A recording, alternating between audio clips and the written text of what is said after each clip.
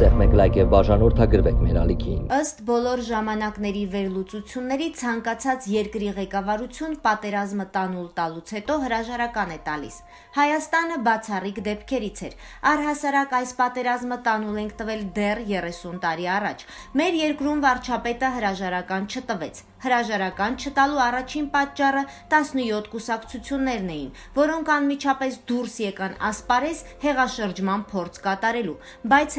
հեղաշրջում անելու համար բավական չէր գնված մի քանի տասնյակով լցնել ազատության հրապարակը։ Պետք էր լցնել հանրապետության հրապարակն ամբողջությամբ իր շրջակա տարածությամբ, ինչպես որ մենք ժողովուրդս լցրել էինք հրապարակը հեղափոխության օրերին, երբ երկիրը ազատում էինք բռնապետ իշխանություններից։ 17 կուսակցությունների ներկայացուցիչներից ժողովուրդը զզված ու հոգնած չգնաց հրապարակ նախորդներին չվերարտադրելու համար։ Փաստորեն 17 կուսակցությունները բառիս բուն իմաստով պահեցին Նիկոլին ու իր թիմին։ Եթե նրանցը չլիներ աթոռակռիվ ու իշխանության գալու անհակ մոլուցքը, գուցե իշխանությունները հրաժարական տային։ Չնայած ժողովուրդը դա թույլ չէր տա։ Ժողովուրդը մինչ օրս Փաշինյանի թիկունքին է։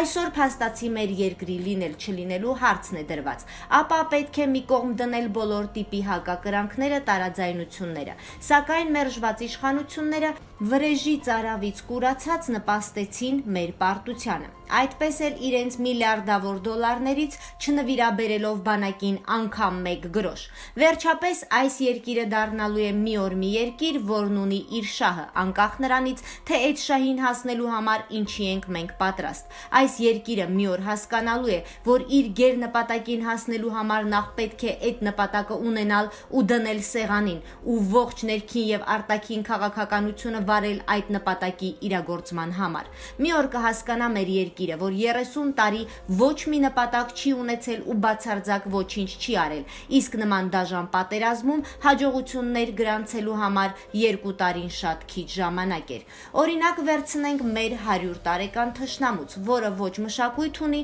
ոչ պատմություն, ոչ խելք, ոչ թասիբ, ոչ ժողովրդավարություն, ոչ որևիցե արժանիք, ոչինչ չունի։ Նպատակ դրեց 25 տարի այդ նպատակի կատարման ուղղությամբ աշխատեց, ծախեց, առավ, չոքեց, վերևից նայեց, ստեց, ամեն ինչ արեց ու հասավ իր նպատակին ու մխկտացրեց 3000 տարեկան հարուստ մշակույթ ու պատմություն ունեցող պետությանը։ Հիմա կասեք, քանի կոպեկի արժեք ունի մեր պատմությունը, մշակույթն ու հպարտությունը, եթե երկիրը մինչ օրս ազատագրված չի ներքին դավաճաններից, որոնք այդպես էլ չեն ներում հայ ժողովրդին իրենց վաստակած առանց ձեռնաշղթա ապրելու իրավունքը։ Հազար տարի էլ անցնի ու ազգերը վերանան աշխարի երեսից հայը մնալու է, բայց այսօրվանից ու եւս միլիոն տարի արժանապատիվ ու հզոր երկրում ապրելու համար պետք է ունենալ նպատակ։ Եվ այսուհետ մեր նպատակը պետք է լինի հզոր բանակ կառուցելը, զինելը, կրթական մակարդակը բարձրացնելը, կառավարական կադրերի ճիշտ ընտրությունը եւ որ ամենակարևորն է մաքրել երկիրը մերժված կլանի ներկայացուցիչներից եւ Թավիշի փոխարեն անհրաժեշտ է կիրառել կոշտ հղկաթուղթ։ Համլետ Մազմանյանը, ով պատերազմի առաջին իսկ օրերից գտնվել է սահմանին, գրել է. Պատերազմի սկսվելու առաջին օրվանից պլանավորվել է վարչապետ Նիկոլ Փաշինյանի սպանության գործընթացը։ Վարչապետին պետք է սպանեին փողոցային խուժանները Ստեփանակերտի ընկնելու օրը։ Այդ իսկ պատճառով կոնկրետ մարդիկ իրենց ջոկատներով պլանավորված խոճապ են տարածել նախ Ջաբրայելում, հետո մեկ ուրիշ թեև լուրջ աշխատանքներ է տարել Հադրութի ուղությամբ, իսկ գլխավոր հերոսը պետք է հանձներ Շուշին, որից հետո առանց դիմադրության կընկներ Ստեփանակերտը, հետևաբար ողջ Արցախը եւ ոչ մեկի մտքով չէր անցնի, որ ծայրաստիճան դառը գնով նոյեմբերի 10-ին կհաստատվի ժամանակավոր հրադադար, ինչի արդյունքում կպահպանվեր Արցախի մի փոքր մասնիկը։ Արցախը չընկավ, Հայաստանում էլ պլանավորած հեղաշրջումը տեղի չունեցավ, բայց դուք մերժվածներ չեք մնալու, ուղևորվելու եք այնտեղ, որտեղ ձեզ պետք էր ուղարկել 2 տարի առաջ։ Պետք է դիմագրավել, այլ ոչ գովազդել ապազգային արժանապատվությունը տապալող ձեռնարկումները։ Մեր զրուցակիցն է քաղաքական վերլուծաբան Պավել Դալակյանը։ Ֆրանսիայի սենատի որոշումից հետո թուրքերը մտան Սոտքի տարածք։ Կապ տեսնում եք այս երկու իրադարձությունների միջև։ Արցախի շուրջ որևէ զարգացում անխուսափելի կապ ունի Հայաստանի շրջանին վերաբերող որևէ իրադարձության հետ։ Ինչ ասել է Հայաստանի շրջան։ Հայաստանի շրջանը հայկական քաղաքակրթական ազդեցության շրջան է։ շրջանը տարածվում է հյուսիսային Կովկասից մինչև ժամանակակից Սիրիա, Լիբանան, Իրաք, Կիպրոս եւ Պաղեստին կամ Իսրայել ըստ ճաշակի։ Իրանը նույնպես այդ ցանկում է, եթե շրջանում կա իրադարձություն, ապա լինելու է արձագանք եւ հակառակը։ Հայաստանի որևէ գործողություն անհապաղ ազդեցություն է գործում շրջանի իրավիճակի վրա։ Այն, ինչ տեղի է ունենում հիմա Հայաստանում, այդ շրջանի հանդեպ Հայաստանի Հանրապետության կառավարության տասնամյակների հանցավոր անտարբերության, հայ դիվանագիտության անգործության ուղակի եւ դրամատիկ հետևանք է։ Գավառական մտայնությամբ Արցախը դիտվում էր միջին արևելքից անջատ, մեկուսի մի օբյեկտ։ Արցախում հիմա թուրքոմանների ընտանիքներն են բնակեցվելու։ Սոտքը այդ արձագանքներից է, տեղեկություններ կան այդ հատվածներում թուրքերի պահանջների մասին։ Ինչ սկզբունքով եւ ովքեր են որոշելու թուրքական դիրքերի տեղակայման վայրերը։ Սոտքը անշուշտ դրանցից է։ Ֆրանսիայի օրենսդին մարմինը հիմնվել է տեղի հայկական համայնքի պահանջների վրա։ Այդ պահանջներին է շահկապվել Հայաստանի շրջանում Ֆրանսիայի քաղաքական եւ ռազմական շահագրգռությունը։ Այսպիսով առաջացել է մի շահ կապում, որ համենայն դեպս այս փուլում ուղակի կախում չունի Հայաստանի Հանրապետության կառավարության դիրքորոշման հետ։ Նման շահ կապումը չէր կարող վրիպել Ռուսաստանի դեսպանության անքուն աչքից։ Ճշմարիտ է, Սոտկի նման վիճահարույց կետեր նոյեմբերի 9-ից հետո Հայաստանում շատ կան։ Այդ կետերը գտնվում են Ռուսաստանի կառավարության որոշումների տիրույթում։ Արտաքին ազդեցության փորձերը ռուսական իրավասության նկատմամբ մանավանդ հայկական շրջանի ընդգրկումով առաջացնելու են թուրքերի համապատասխան քայլեր նշված դրթումով։ Առավել զգայուն կետերից է Բերձորը, որը վարչապետ Փաշինյանի ստորագրությամբ հանձնված է Ռուսաստանին։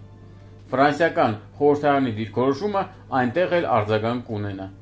Հայաստանի Հանրապետության քաղաքացիների կամքի փողոցում մամուլով արտահայտված դրսևորումներից է կախված, թե ինչպիսին կլինի Մոսկվայի արձագանքը։ Իդեպ Մոսկվայում իբրև արտաքին ազդեցության առավել վտանգավոր փորձ է դիտվում արտասահմանի հայության միահամուռ ընդվզումը անցյալ ամիսներին։ Այս հանգամանքը զգալի ազդեցություն է ունեցել ռուսական դիրքորոշումը կարծրացնելու մասնավորապես Հադրութն ու Շուշին Արցախից անջատելու որոշման վրա։ Հայաստանի Հանրապետության ԱԳՆ-ն հայտարարեց, որ պետական սահմանի սահմանագծումը եւ սահմանազատումը իրականացվում են պետությունների միջև ձևավորող համատեղ միջ գերատեսչական հանձնաժողովների եւ աշխատանքային խմբերի կողմից միջ պետական բանակցությունների ճանապարհով, որի արդյունքում կնքվում է համապատասխան միջազգային փաստաթուղթ։ Ձեր կարծիքով փոխադարձ ճանաչման գործընթաց է պատրաստվում սահմանի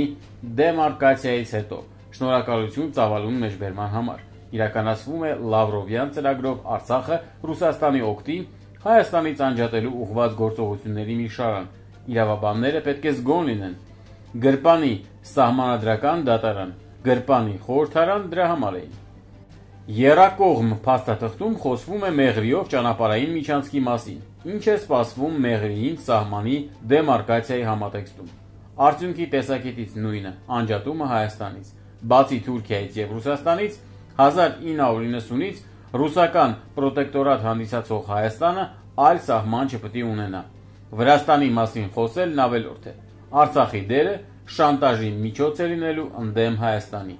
ինչպես եւ հակահայ ռոպագանդայի մամլիչի տակ գտնվող Ռուսաստանաբնակ ողջ հայության դերը։ Արավել աշխուժանալու են մեդիա ասպարեզի հաստիկով հայերը, նպատակ ունենալով ոչնչացնել հայկական սուվերենության վերջին նշանները։ Լուր հարց եմ տեսնում ձեր հայացքում։ Ուրեմն ձերքներս ցալած սпасեն գլխներից գալիքին Իմ պատասխաններից բնավ չի հետևում, որ Հայաստանի Հանրապետության կառավարությունը պետք է շտապ դատապարտի իրենց հայրենիքում, միջին արևելքում կամ հերու արտասահմանում Հայաստանի շրջանը ներկայացնող հայությանը։ Այնինչ ընդհանրացնելով սխալմամբ սփյուրք են կոչում, բնավ։ Պետք է արվի այլ բան, գիտակցվի տեղի ունեցողի բուն ակունքը, գիտակցվի մարտի դաշտում ընկած հերոսների սխրանքի պատմական եւ աշխարհագրական վիթխարի արժեքը, սխրանքի առաջացրած ձեր պարտավորությունը։ Մեր պարտավորությունը իրադրության կայունացումն է։ Սպասվող նոր հարվածները կանխելը, հակադարձելը, նախ եւ առաջ հերանեկարը կառուցելը, ինչը 30 տարվա ընթացքին երբեք չարվեց։ Հնարավոր չէ կույր վիճակով խարխափել հսկայական շրջանում եւ հաջողություն ակնկալել։ Այս կարգի գործողությունները համախմբում են պահանջում, որը հիմա մեր աչքի առաջ ակտիվորեն խարխլվում է ագենտուրային եղանակով։ Զինվոր տված ընտանիքները մանիպուլյացիայի հիմնական թիրախն են դարձել։ Ներմուծվում են զորացրում Արցախից զորքերի ետ կանչում, զոհվածների եւ գերիների վերադարձի արդար պահանջով օտարածին բեսմերտնի պոլկի խայտարակ շոու երթեր կազմակերպելու կոչեր եւ այլն։ Պետք է դիմագրավել, այլ ոչ գովազդել ապազգային արժանապատվությունը տապալող ձեռնարկումները, ինչը ցավոք անում է նաեւ լրագիր կետեյեմը։ Բաքուն եւ Մոսկվան այդ զազերելի շոուն չարախնդրորեն մատի փաթաթան է դարձնելու։ Մեր նահատակների պատիվ ոտնահարող այդ հիմարությունը զարմանքով են նայելու նաև միջին արևելքում։ Գործը շատ է, սա դեռ պատմության սկիզբն է ընդհանրապես։